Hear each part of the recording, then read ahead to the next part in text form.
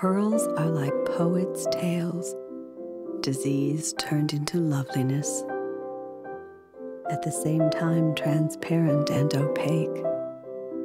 Secrets of the depths brought to light to please young women who will recognize in them the deeper secrets of their own bosoms.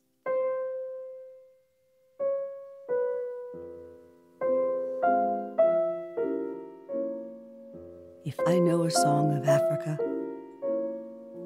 does Africa know a song of me?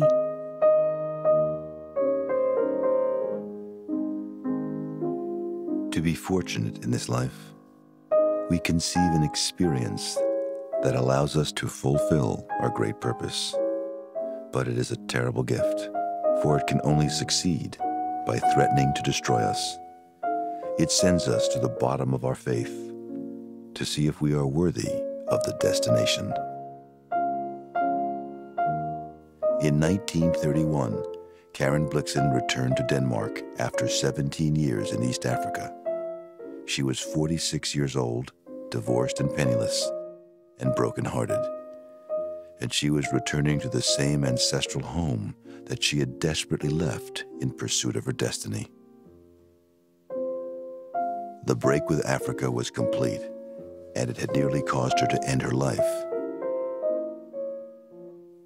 To survive, she would need to generate enchantment from that world that lay buried inside her. She lived by weaving her thoughts into stories that would keep death enthralled.